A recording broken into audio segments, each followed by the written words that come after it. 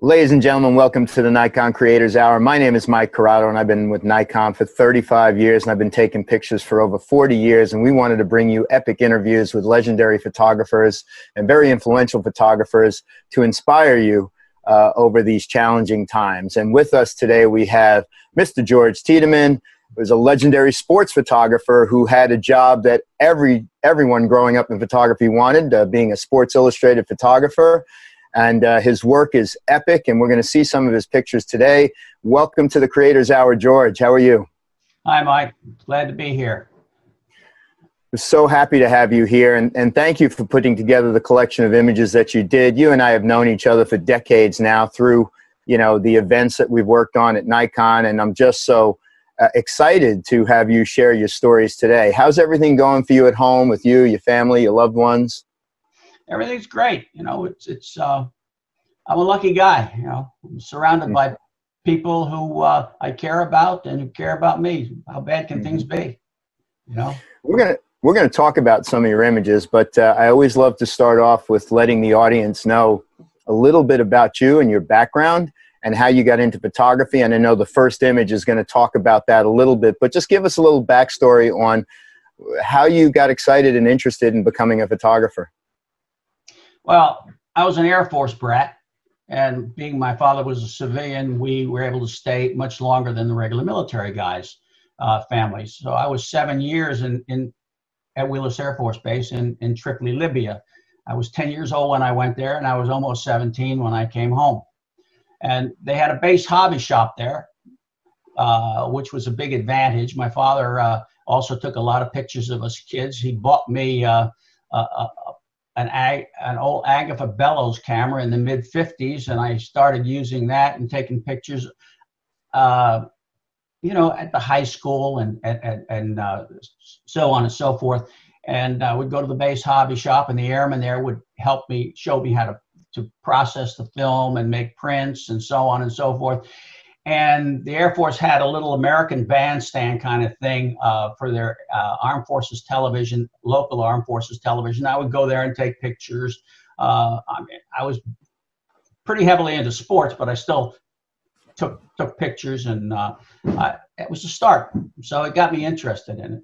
But uh, mm-hmm. then when I came back to the states, that kind of ended it, and um, you know later on I got involved again it's uh, i want to mention it again like back in the day you know uh, everybody wanted to be working for sports illustrated. I want to admit to having one picture published in sports illustrated but it was part of an ad and it was about the size of my thumbnail but i was still so excited to get like those little bits of ink in the magazine. It was either sports illustrated or national geographic and we're going to go through uh, a bunch of images you put together and uh, i know the first couple. Let me launch the program and uh, we'll pull up that first picture and uh, start the slideshow. Uh, first couple have really nothing to do with sports, uh, but are obviously important to your your uh, career and journey in photography. So, uh, talk about the picture, George. Give us the backstory here. Well, this this picture was uh, of guys in my outfit jumping on a mission in Vietnam in 1966 uh, summer of 66. And uh, I, uh, prior to that, during training uh, back in the States, I snuck a little uh, Kodak Instamatic in my jacket as, as I was on an, uh, a practice jump. And that got me interested again in photography. So when I got to Vietnam, one of the first things I did was to stop at the PX and buy myself a good 35 millimeter and uh, I would take it when I wasn't actively involved, meaning like jumping out the door, that kind of stuff. Uh, I would use it, and uh, I got it was it was interesting because it was just interesting pictures to be made, and and that's uh, what I did. I just uh, uh, have a have a collection. I wish I had known then what I know knew not much later. I'd have taken more. Uh, mm-hmm. In fact, I I was so interested in it, I asked the Marine Corps photographer, "What are the, you know what are the chances of me uh, switching over to photography?" And uh, he gave me, you know, he told me a few things which he wasn't authorized to do anything. But uh, when I thought about it, I thought that you know what, I don't feel real comfortable pointing a picture at somebody, pointing a camera at somebody who's pointing a rifle at me. So I, mm-hmm. I kind of nixed that idea. Mm-hmm. Yeah, very, very dangerous conditions in conflict photography. Um, and you had mentioned to me before in conversation that uh, you, you, said this kind of got you back into photography. So I guess you started, you know, early on with that bellows camera. You kind of let it go for a little bit, and then you now become inspired in this situation with a little camera, you know, in a very critical situation, which is an amazing story to tell. Um, I know uh, that uh, is a really cool picture here of Janis Joplin. Um, talk about this, and I think this is one that kind of got you back into photography pretty heavily, no? Yeah, I uh, I kind of uh, started freelancing. I actually started in newspapers in the circulation department. Mm-hmm. And I would take a camera with me and, and, and, and take pictures while I was out and submit them and so on and so forth. So that uh, lasted about six months in circulation. And then uh, the editor, uh, Simon editor, was interested in what I was doing. And so he uh, gave me a job as, uh, as a staffer. But prior to that, I had been given a few freelance assignments, and this was one of them.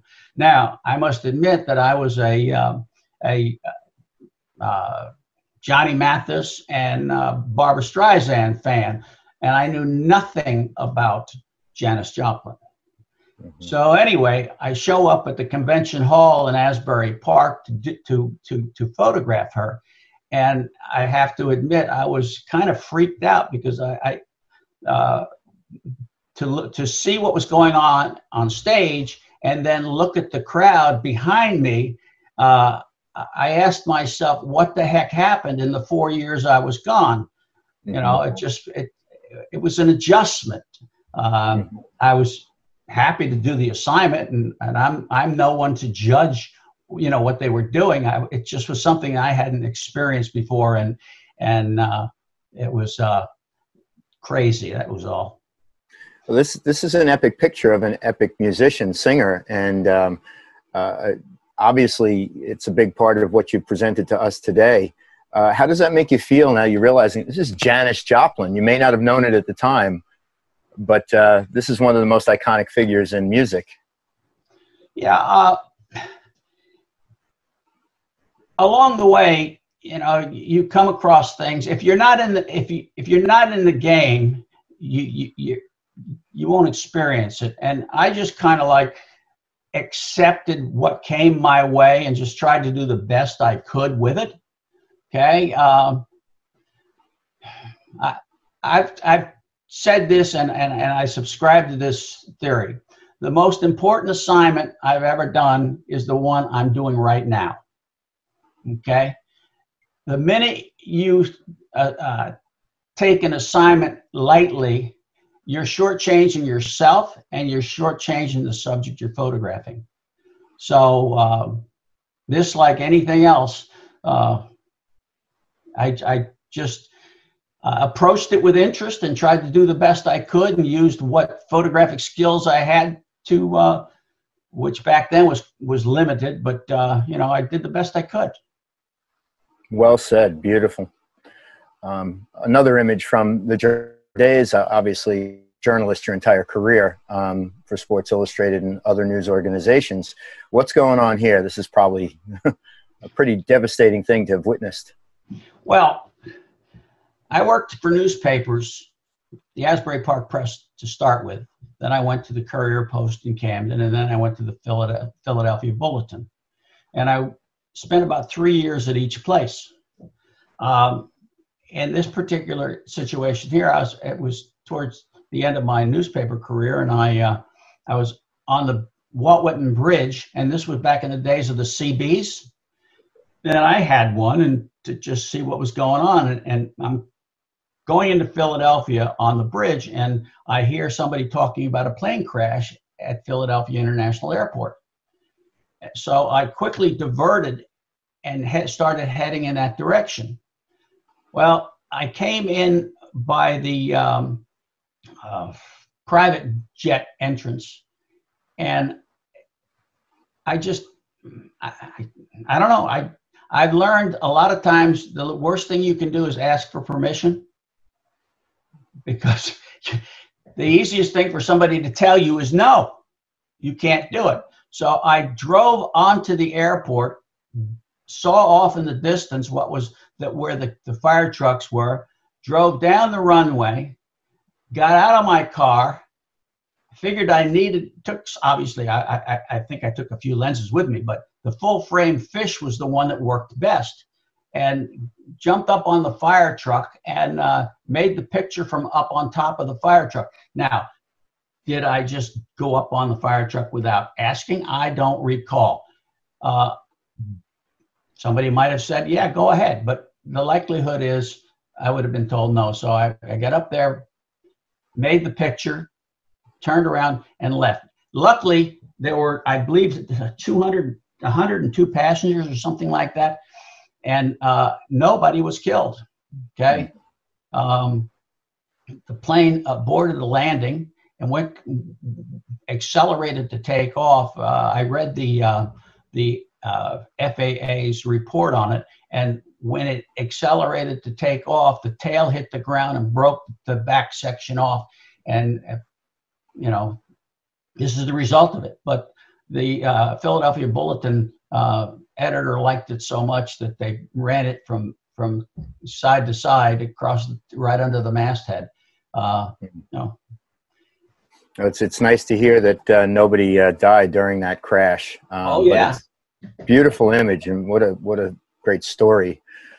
Let's talk about sports now. Before you jump into this picture, it's you mentioned something before about being in the front and then looking back and seeing the crowd behind you. And I think as a photographer, and I've heard this before, it's like a front row seat to the world, essentially, and then you bring that story to everybody from your point of view and your perspective. Um, talk a little bit about why sports photography became so important to you after your days as a journalist, and then let's get into this picture of Pele. Well, I when I was with the, the, first paper, I was with the Asbury Park Press. I, st- I started doing some freelance st- stuff that was recognized by the NFL, and the NFL contacted me and asked me if I would if I would be a contributing photographer. And of course, what was I going to say? No, of course I did. So I would, if I wasn't working on a Sunday, I would go to the games and take pictures and submit them to them. Well, that drew the attention of somebody else in soccer. And they contacted me and asked me if I would do the same thing for them that I was doing for the NFL. So I switched over, and uh, I mean, I played soccer as a kid uh, and and loved the game. Uh, anyway, uh, uh, the Philadelphia uh, Atoms asked me to to do some work for them, so I did that, and then the league, the North American Soccer League hired me to to do work for them, which eventually led to a staff job as director of photography at the North American Soccer League. But uh, uh, it, it, and and that recognition and, and that exposure led to SI when they started uh, uh, covering soccer and um, uh, looking looking for somebody who, who kind of like knew the sport. That certainly doesn't mean that there weren't other people who couldn't do it but they were busy doing their thing. And quite frankly, with the, the space that soccer got, uh, you know, there might not have been an interest for other people to want to do it. Uh, they were busy. So uh, I accepted it and uh, got involved. So anyway, this this particular picture here was was Pele's final game, and uh, uh, it was a madhouse to say the least. The stadium was absolutely packed with with with fans, and I like my pictures to tell a story, and shooting from ground level, especially when you're five foot six, and you're shooting up with somebody on top of somebody else's on top of shoulders of somebody else you're going to get sky and, and, and stuff that really doesn't add to the picture so uh, i held i took a 28 millimeter pre-focused it i think about 12 feet 15 feet and held it over my head and waded waded into the crowd and made you know 36 exposures. Uh, and uh, I was somewhat lucky, I think. Uh, to me, the picture of of him looking up at the sky is almost is, is kind and with the cross around his neck is is somewhat spiritual to me. It's like he's looking up at God. And of course, he has the Brazilian flag from from where he came, and the American flag, uh, um, showing appreciation for for where he was. So it was, uh, and in the background, you see uh, uh players like uh, Beckenbauer and, and Hunt and, and uh, Shep Messing and, and, and, and a, a number of the other uh, team members. So this angle told a lot more about what was going on than uh, shooting at ground level, pointing the camera up with the sky in the background. I'm going to tap upon my memory. Was he? He was playing for the New York Cosmos at the time, right? Right, right. And and where was where was this taken? It was what stadium? Giant Stadium. Mm-hmm. The Cosmos held the attendance record at Giant Stadium for years. I'd have to go back and check what the record is, but it was like 76,000 plus in, at, at, at uh, you know, not at, at, one particular game. I mean, it was, it was exciting. I'm not going to say it wasn't, it was exciting. People were into it. Uh, it was it was a great time. It was a festive time. You know, people enjoyed it, and he was he was like the Pied Piper. I mean, he he loved everybody. He was uh, gracious. He was kind.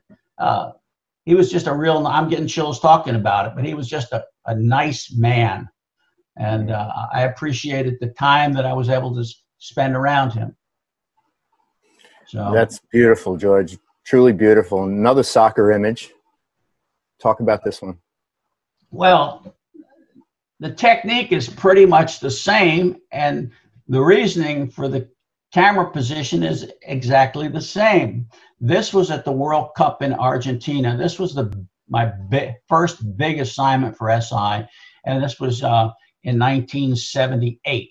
And this was Daniel Passarella being paraded around the field by uh, fans and teammates holding up the World Cup trophy. This was my my my first cover for SI, and I, I could be wrong, but I don't think I'm wrong. I probably should have checked. I think this was SI's first uh, World Cup cover. But regardless, uh, the same thing happened here, except here it was much more dangerous. These people were rabid. I mean, it was they were so excited. And and again 28 millimeter over my head pre-focused uh, the lighting conditions were terrible uh, back then. Uh, we were shooting this with 200 iso ektachrome push to stop. You know think about it today. You'd go in there and set the iso at 5000 and it's cool. But, but not back then i mean you were shooting action at 250th of a second sometimes because the light was so bad, wide open. I remember uh, uh, situations uh, where where it was it, it, was really bad, you know, uh, and and stadium to stadium because uh, there were games all over the country, uh, varied in in in, in lighting the amount of lighting that you had. So it was certainly was a challenge. Uh, but uh, this particular picture, I was told to stay behind and photograph the celebration while the other two team team members, Manny Millan and and uh, Jerry Cook, who was a picture editor, headed off to Buenos Aires to take the film in to get it processed so they could make the deadlines in in New York and uh, uh, transmit their selections and so on and so forth. And Jerry was on a flight that night into Miami, connecting into Miami, going on into Chicago. It was it was insane. Well, anyway, uh, after I made these pictures, uh, this particular picture, uh, I, there was no stopping to load your camera. If you stopped, they ran over you. So I retreated, got out of the herd, and then loaded my camera, and then it was virtually impossible to get back in there. There were so many people. There was moats around the stadium to keep fans off the stadium. The moats didn't stop them. they, they were on the field. Anyway, um, so I got the I, I left the stadium and uh, hitchhiked, literally hitchhiked back into downtown Buenos Aires, uh, and, and and got to the lab and uh, walked in the door. And Jerry said to me, "What are you doing here?" I said, I said, "It was all over. I just figured I'd get back here." And, well, I made it in time for the last film drop, and uh, that was lucky because otherwise this picture would have been seen the following at the end of the year in the year-end uh, special issue. But as it was, I made the last film drop. Uh, this was the, uh, a selection that was sent back to the states and was chosen for a, for the cover. Anyway, I, I don't want to understate this because back in the day of shooting, you were manually focusing the gift of autofocus today makes it a little bit easier for photographers. You still have to follow the action, but here, like you said, you had to pre-focus the 28 millimeter uh, at, at, at whatever f-stop at 200 ISO film, push to stop, right? So right. maybe you're getting about 400 ISO worth out of it, where nowadays 5,000, 6,400 is right. almost commonplace. So a lot of challenges back then. So anybody tuning in, I think this is a testament to George's work and his uh, his abilities, his talent as a sports photographer to be able to get this stuff done. And it's it's amazing too how you say everybody rushed the field, and um, it's amazing how that's transitioned as well as now I, I know at uh, Shea Stadium and other stadiums that I witnessed. All of a sudden, you know, the police come in on horses and they they started to prevent that or stop that from happening, um, so the teams can celebrate you know, without the fans rushing on. So a lot has changed since then. But how do you feel? I mean, it's your first Sports Illustrated cover. What's what's going on with you emotionally? Uh, I was happy, of course, and it was a complete surprise to me. They they called me over to the office in Buenos Aires, and and uh, Clive Gammon was was the writer, the soccer writer for the magazine, was there, and Clive said to me, uh, he said, "You know that you made the cover," and I was like, uh, pleasantly surprised and happy, but I wasn't doing backflips. I was just, you know, I mean, it was nice. It was nice. Uh, probably uh, if I had gotten a phone call, I would have shown a little bit more excitement, but I tried to be a little professional about it. but, you know, like this picture here, I mean, it was shot wide open. I mean, I, I, I probably had the same lens down, downstairs in my safe, and I think it's a 28 millimeter f2 lens. Okay, and uh, I mean, you know that that's what you did. You shot wide open so you could keep the maintain the quality. You know, mm-hmm. uh, you had to you had to stay within certain parameters, and and and and otherwise your stuff would be garbage. Uh, you to maintain the quality was a, was an absolute challenge. So Olympics, what's going on here? Uh, yeah, this is in Athens uh, in uh, 2004. Uh, I didn't shoot this for SI. Uh, by that time, I was um, still working for SI, but uh, less. Uh, and uh, I uh, felt that in, in a career with sports photography, if there was one place I wanted to be or felt I needed to be, it was in Athens, where it all started. So um, Jimmy Colton, who was the uh, was an editor at SI, arranged uh, for me to get an assignment from an agency, so uh, I could go. And uh, I will be eternally grateful to Jimmy because uh, uh, it it was quite a, a, a venture, and having been there was was something special. But uh, I had a credential to go upstairs uh, to to be at the opening ceremonies, and uh, uh, we weren't allowed to take tripods. So the only thing we had was with monopod. Well, on my monopod, I learned a trick from other guys at the magazine was to put some gaffer tape around your monopod. So if you ever needed it, you had it.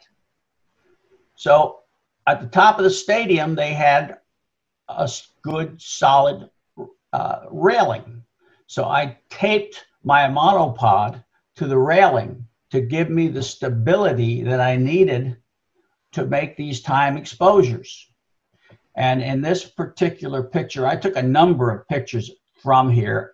It's very similar to this, and and all of them were interesting and beautiful. And but this one here was was luck, meaning that when I started this time exposure, the fireworks on the far left and far right of this picture just started.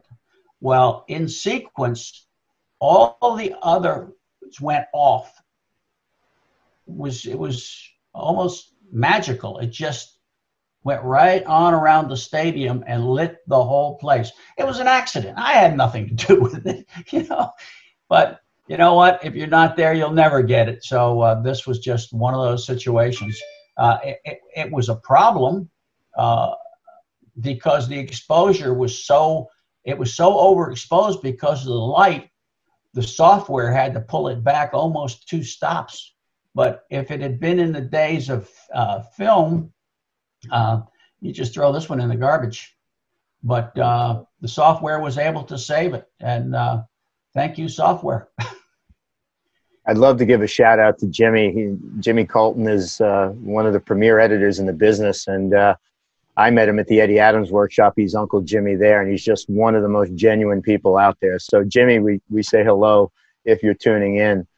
Did you cover other events here? Obviously, just not the opening ceremonies. Oh no, no, no. I, I wrestling is a passion of mine.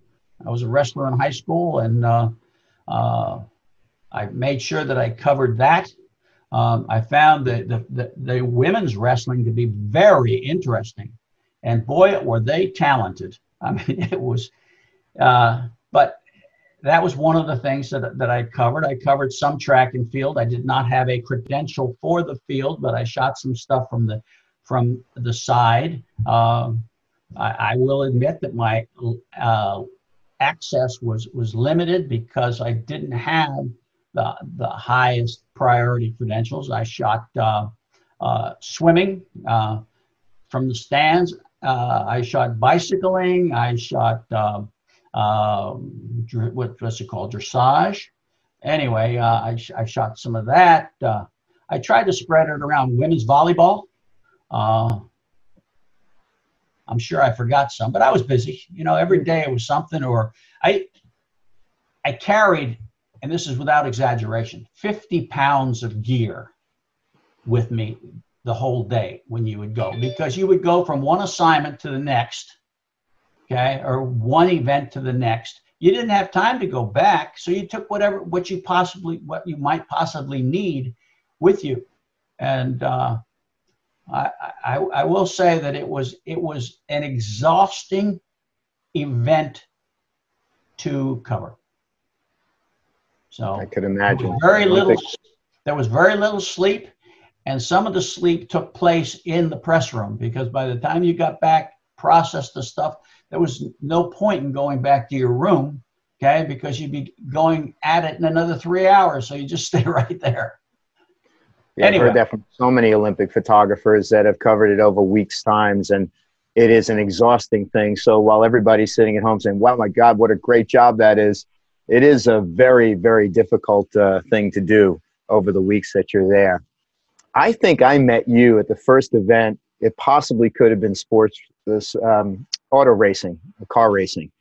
Uh, this seemed to be something you did a lot of. Talk about your your journey with uh, motorsports. Well, I considered myself a team player at the magazine. I did pretty much what they asked me to do. Okay, I didn't ham and haw and I got to do a football game. I got to do this baseball game. I did what they asked me to do. And there were plenty of guys who shot baseball and plenty of guys who shot football. And uh, so they weren't so interested maybe in shooting some of the other stuff. And motorsports was was one that that uh, needed might have needed help. So I kind of like fell into it. What they asked me to do, I would do. Okay. Uh, I uh, there was a Super Bowl that Barbara Henckel, a picture editor at the time, asked me to to do, and it was probably my first Super Bowl, and she wanted me to shoot it from the stands because the person that she had assigned to do it in the stands didn't want to do it in stands. So that made an opening for me. Well, I wasn't going to tell Barbara, no, I'm not going to do it. I, you know, of course I did it. Look, you never know where the picture's going to come from. You know, uh, during the World Series in Atlanta, uh, I got a cover out of there from a gondola over overlooking a home plate. Who the heck wants to be in a gondola? You know, be in the dugouts where you get the real stuff. Well, you know what? This was a different angle, different picture, and it worked out for me.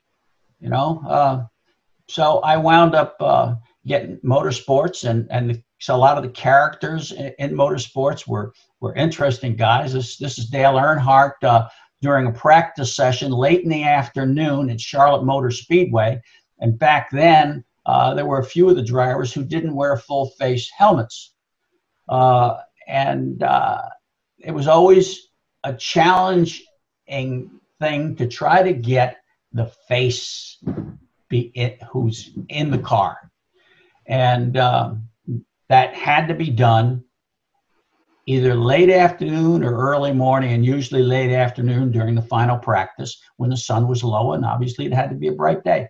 So that's what I would do. I'd trek on out to turn uh, turn three, and try to get them uh, coming out of the turn and get some good light on it. The same thing in Indianapolis. Indianapolis uh, was the same thing. You're shooting uh, late afternoon stuff coming out of uh, coming out of turn three, uh, and uh, trying to get their eyes underneath the sun sun visors, which was a, a trick, you know, to accomplish. Uh, it was just trying to make it a little different, and and you know, back then you know, I mean, I, I don't know the exact numbers, but uh, you, you, had to shoot this thing at least at a thousandth of a second or higher. Okay. And uh, even at a thousandth of a second and higher, a race car moves uh, several inches. Okay. So it's, it's certainly a challenge to get, get it sharp. Anything, well, challenge. Anything, challenge for focus, challenge for exposure. And remember, remember, 36 frames at oh, probably yeah. a frame rate maximum of six frames per second with a motor drive, if I remember back then in the heyday of, of yeah. professional sports cameras like the uh, F3 or. Well, in a case like this, you, you would just, I just pick a spot on the track. There was, there was no way you're going to, you're going to follow focus. So I just pick a spot on the track and let them come to that spot and just be ready and bang off a couple of frames. Bang, bang. That's it. He's gone. You know, I mean, these guys at 200 miles an hour, they're moving, they're moving a football field a second. okay. your, your, your timing's got to be down. I recall one photographer said to me one time, he says, how, how many pictures you sharp pictures you get out of out of these shots on the turn? And this guy did it a lot. And I said, well, I don't know. Maybe if I get four or five, you know, I'll be happy you know? Well, you know, I get about 32. and I mean, I, the guy was a friend of mine, and I didn't say anything, but you know, I, I think a lot of that has to do is what's your perception of sharp? You know, uh, and uh, I, I, I, I try to keep my standards pretty high when it comes to, you know, the subject being sharp. Anyway, Very much he was he was a, he was quite a guy. I really enjoyed him. Uh, anyhow, oh, this was uh, another uh, exciting moment. This was uh, at the World Championships right outside of Paris, and uh, let me see. Let me look at my notes here. Was in 2003, and this was the decathlon uh, uh, uh, javelin throw. And I didn't have a spot on the field. I was able to shoot from the stands, but the stands, the backgrounds were pretty ugly. And you see all that stuff behind him? Well, there, that's a bench and so on and so forth. And it was just, just distract, it was a distraction to what was actually going on. So I went to Nikon and borrowed a 400 millimeter lens and uh, put a 2x extender on it. And I shot uh, these athletes throwing the javelin. Most of the stuff I shot at a 40th of a second. This particular picture here was shot at a 25th of a second at like, I think it was uh, F11 or F16, something like that, probably at, at 100 ISO. And I was really pleased with the results because if you look at the tip of the spear, the tip of the spear is sharp as a tack. And it was, just, it was just a matter of, of, of timing and, and, and, and uh, having the, the, the courage to, attempt something like this because it certainly wasn't something that, that's written in the books on how to how to shoot sports action. But uh, I was really happy with it. There were a number of these that came out quite well. I was surprised, but you, you you've got to pick these guys up when they when they start their their their trot into into the throwing area and just stay with them, and you know, it worked out. And I didn't have and I didn't have an ugly background. Yeah. Yeah, you talked about it before. You know, the high angle position with the Dale Earnhardt or Earnhardt photo, and then other high angles you've taken. Yeah, there's a big advantage to that. You know, because you do have a cleaner view. Um, you know, sometimes when you're down low on the field, I can't tell you how many butts and obstructions I photographed trying to get to the main subjects because at that angle, although there's an advantage there for especially when someone's jumping, you see the elevation. There's a lot more likelihood that you're going to get blocked by somebody. So but this is really challenging too because high speed action at slow shutter speeds means a lot more of a challenge, I think, in trying to create something like this. And you did it so well. Uh, beautiful, beautiful image. Uh, it turns to me, it turns it into uh, somewhat of a painting as as a, a photograph. It just, mm-hmm. you know, the colors just seem to, to to blend together and streak. I, I, I like this kind of stuff. I, I covered an, I went to an NFL football game specifically to shoot nothing but slow mo action. And I'm telling you, the stuff that came out of there was really interesting. I'm not saying a lot of publishers were interested in the pictures. I'm just saying the pictures were interesting. You lost a lot, but you know what? Like I said before, it's not about what you lost, it's about what you got. Absolutely. Absolutely. And and like you said, the motion is just seen a bit differently. Frozen action can be great, but the motion and flow within an image, I I guess would be considered sports fine art at that point.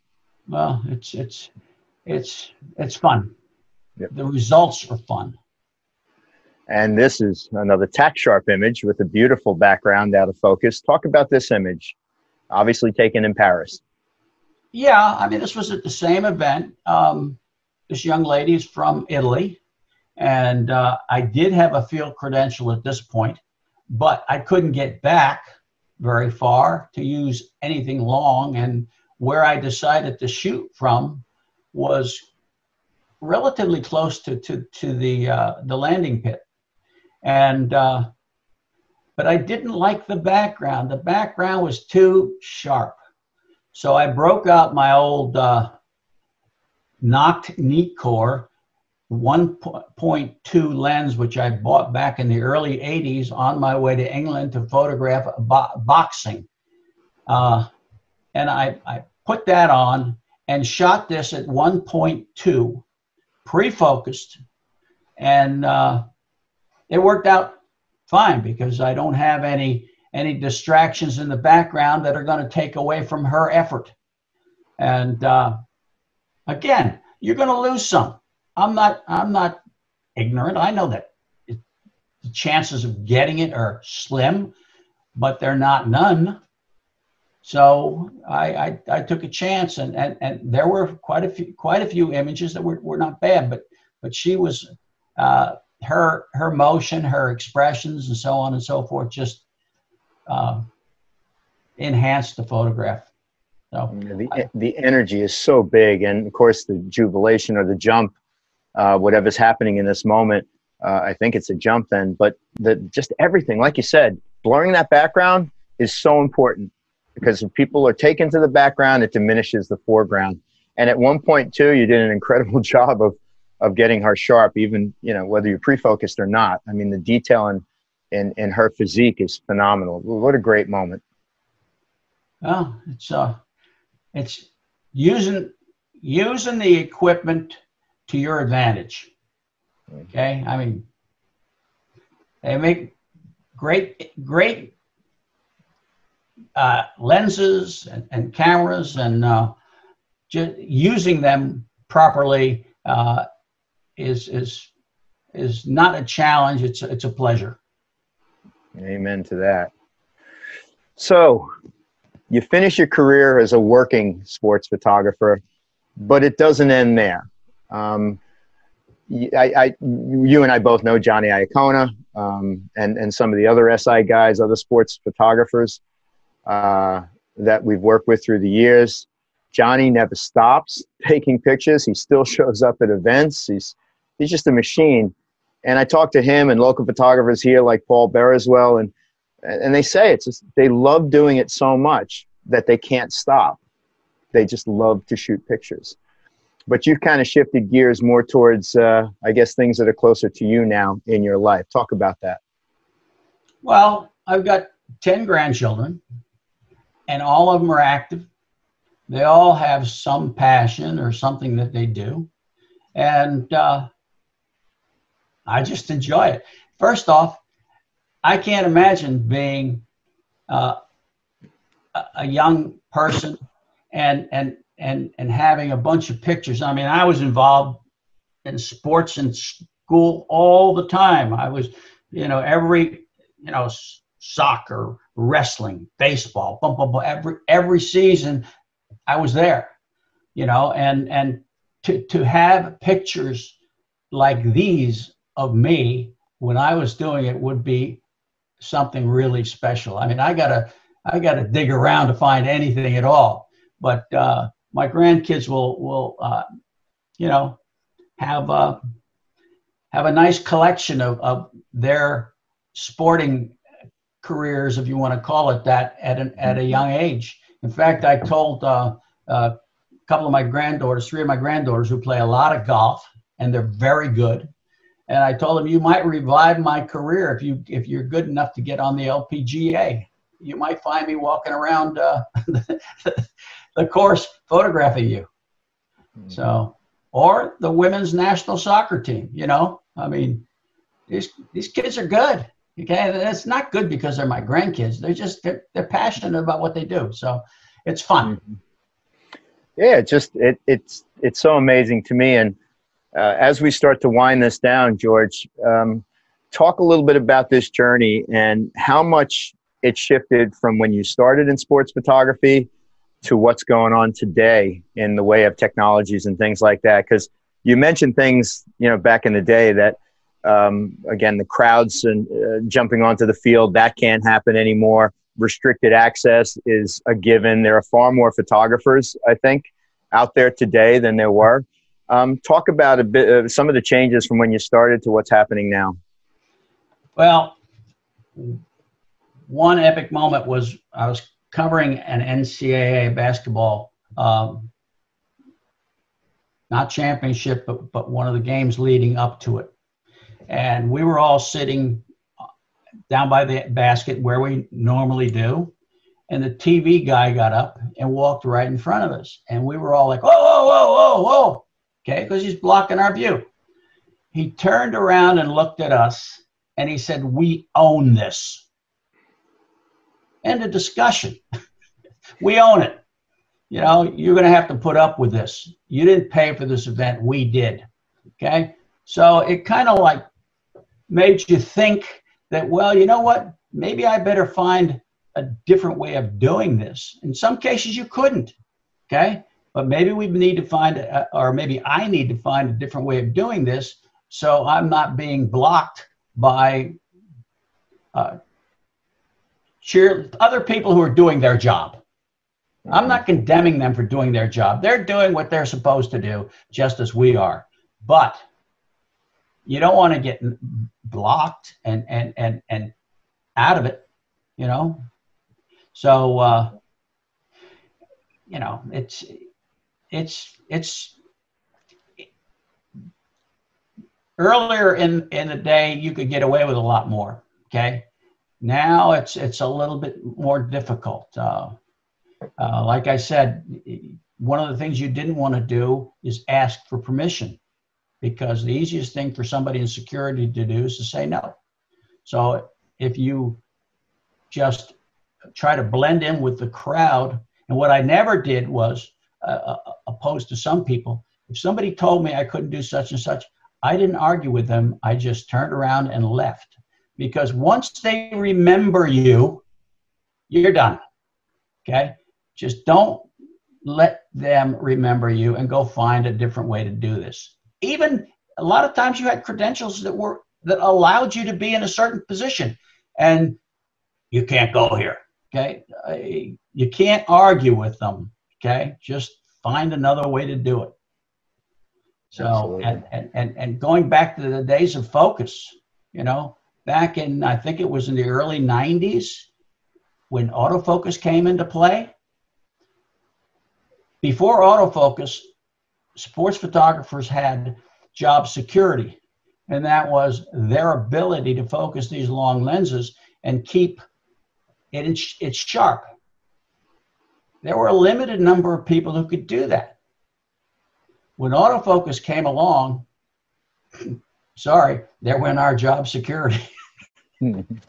Well, it certainly certainly opened up the playing field a little bit. But I'm telling you, George, looking at your work and, and, and the epic work you've done, there's still that talent of the person behind that camera knowing where to go, knowing where to point the camera, knowing what to shoot, and being creative enough uh, to make it happen. I'm going to bring you back full screen here so people can see you big and bright and happy. And uh, there you go. Um, the, George, uh, I can't thank you enough for giving us your time and these amazing stories. Uh, again, I've known you for a long time, so it's even nice to see you and catch up with you.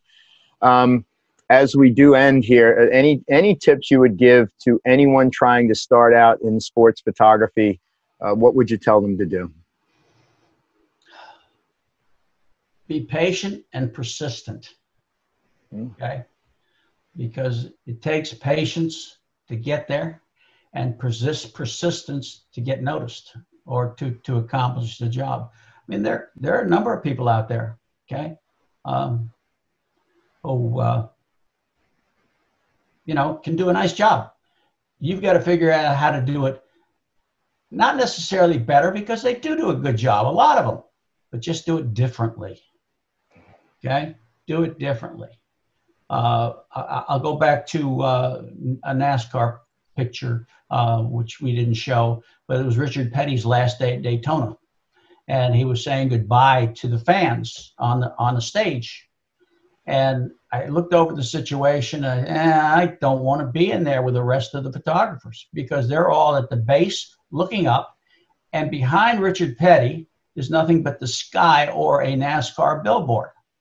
So I got a hold of the PR guy and I said, listen, can I be up on the stage? behind him in an obscure area so I can get the grandstands in the back who those people are his fans.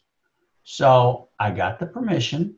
And when Richard Petty went up on the stage and was saying goodbye, he, he, he had that uh, infamous or that famous cowboy hat on and course his racing outfit and uh, so there was no question who he was and he stretched his arms out to the to the fans and there was my picture of Richard Petty thanking his fans. And the fans were in the stand. So you had this big, massive stand area. And down below, the photographers made it more important because you saw a mass of photographers down there photographing him. And they wouldn't be photographing him if it wasn't an event. So it worked out all the way around for me. I had a nice picture uh, that, that said a lot. I didn't have his face, I didn't need his face. Okay, if you didn't know who he was from the back, well, then you wouldn't appreciate the picture anyway. So mm-hmm. think about what you're doing and just try to do it a little differently. Sometimes Absolutely. you can't. Sometimes you can't. Yeah. But at least give it a try. Breaking away from the crowd, you got all those photographers shooting from that one side. You got the unique picture, and that's the difference. Is doing it differently. Absolutely.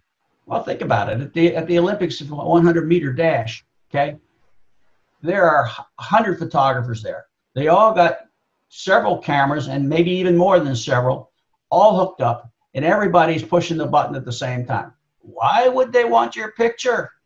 They got thousands of pictures of the same thing. Go to the side, do it different. Put the camera on the ground, do something. Just don't, you know, don't do what everybody else is doing. Well, that's some great advice to close on, George. George, I can't thank you enough for giving us time again. For me personally, it's great to see you. Um, you look amazing. Uh, I, am glad you're enjoying photographing your 10 grandkids because that's uh, that's a great thing to be able to do. And and your stories are, are just so epic, and and the advice you give is tremendous. So thank you, George, for putting this collection of images together and spending some time with us. Yeah, it's been a lot of fun, and I'm very fortunate to have been able to do what I've uh, chosen to do. So thanks, and thanks to Nikon. You're welcome. guys tuning in, thank you guys again for showing up and watching this interview with George Tiedemann, uh, uh, epic Sports Illustrated photographer, sports photographer. It was nice to see his career. We're here to inspire you, um, especially during the challenging times. And we hope that you get out there and shoot pictures. You are inspired by George and anyone else you may have seen uh, during the Creators Hour interviews. Uh, we want everybody to be safe out there. For Nikon, I am Mike Corrado. Thank you guys for tuning in, and we'll see you soon.